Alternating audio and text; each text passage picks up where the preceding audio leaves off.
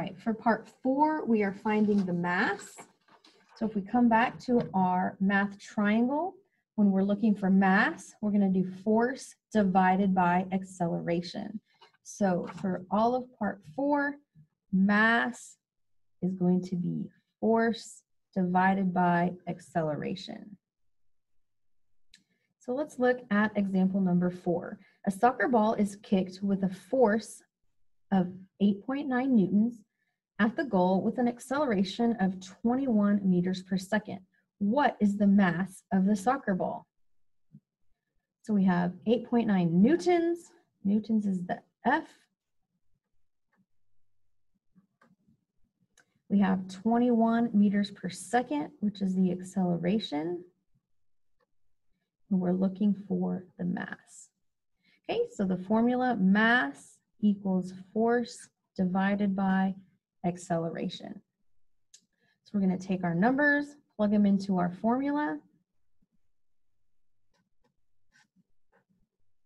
Oops.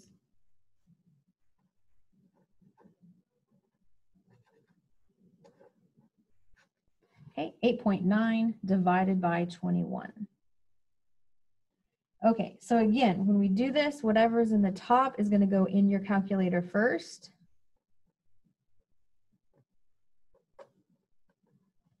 And this line means to divide.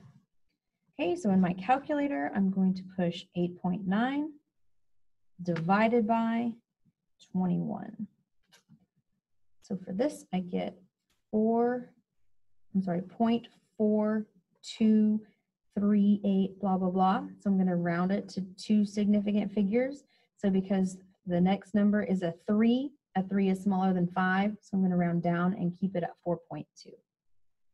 The units for mass is kilograms.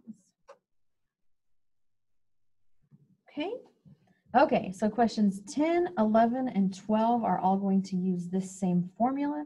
So go ahead and work on those. I hope this has helped you figure out how to do calculations with Newton's second law. So good luck and have a great day.